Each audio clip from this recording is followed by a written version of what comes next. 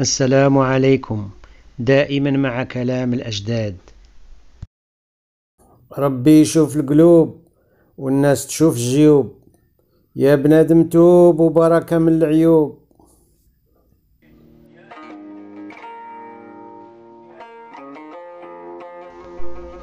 نشغل فمي بالأكل وما نشغلو بالقيل والقال.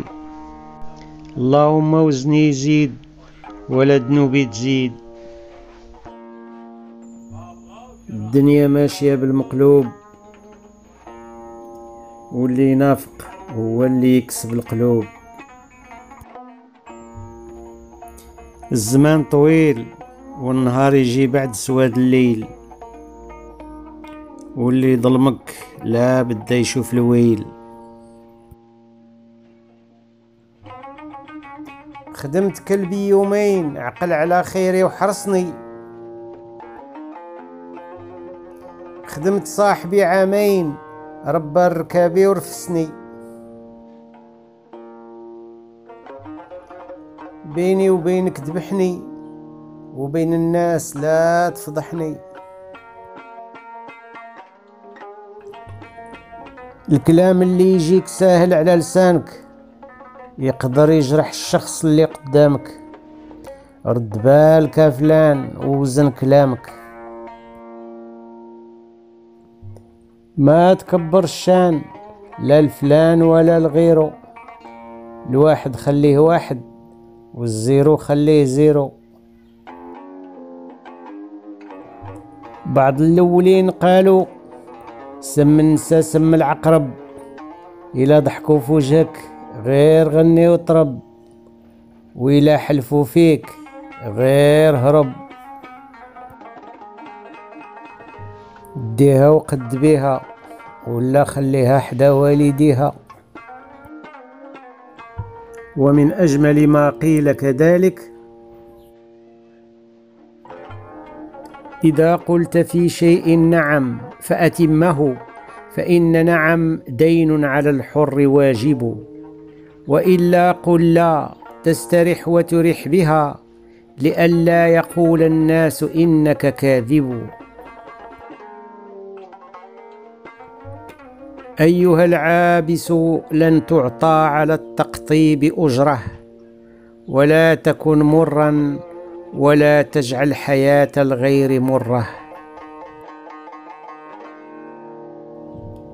للموت فينا سهام وهي صائبة من فاته اليوم سهم لم يفته غدا.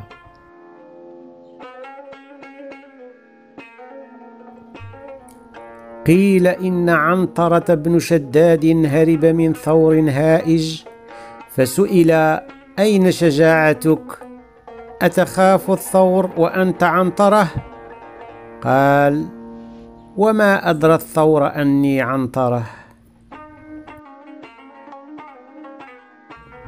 من لم يجرب الألم يسخر من الجروح. النسيان قافلة والحنين من قطاع الطرق.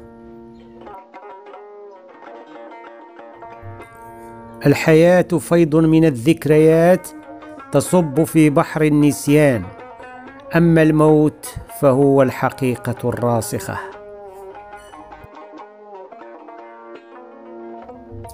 نحن في زمن لو قيل للحجر كن إنسانا لقال عذرا لست قاسيا بما يكفي.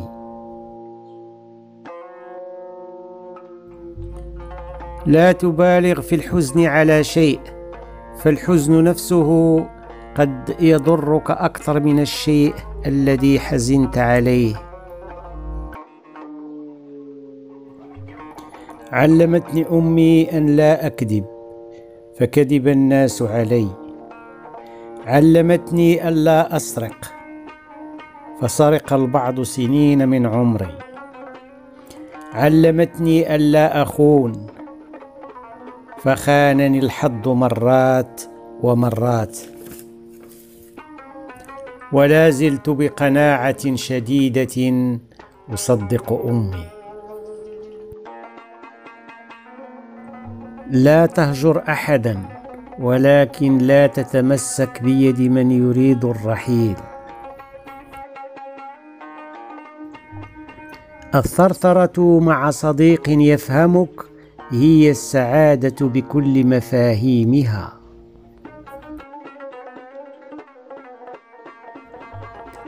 كي يحترمك الحاضرون احترم الغائبين. كن كالحياة. رافق الجميع ولا تتعلق بأحد.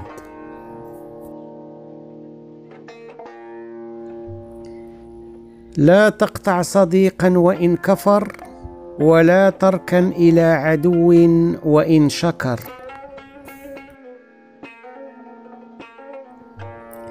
بكى العين يفضح وبكى القلب يدبح واللي بكى من خشية الله يربح. لا تخف ممن يجادلون بل ممن يتملصون.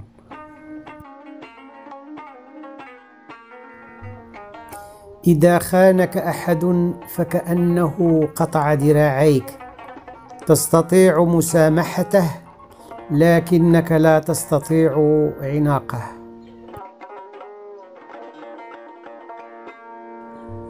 مشقة الطاعة تذهب ويبقى ثوابها ولذة المعاصي تذهب ويبقى عقابها.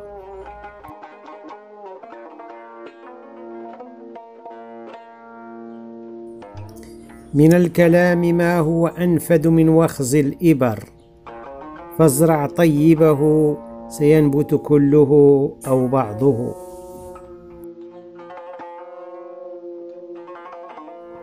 لا تحزن إن لم يهتم بك أحد. فطبيعة البشر أنها لا تدرك النعم إلا بعد زوالها.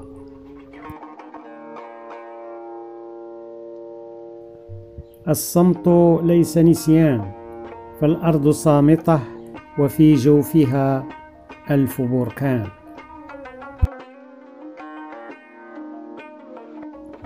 بعض البشر كالعطسة. عندما يخرجون من حياتك لا تنس أن تقول الحمد لله.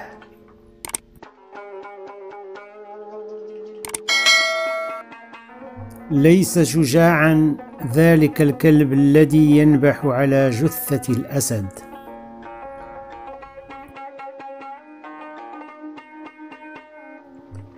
من ولد في العواصف لا يخاف هبوب الرياح. لا تخدعك المظاهر فهدوء المقابر لا يعني أن الجميع في الجنة. وصل اللهم وسلم وبارك على سيدنا محمد وعلى آله وصحبه وسلم تسليما كثيرا. آمين. شكرا متابعينا والسلام عليكم.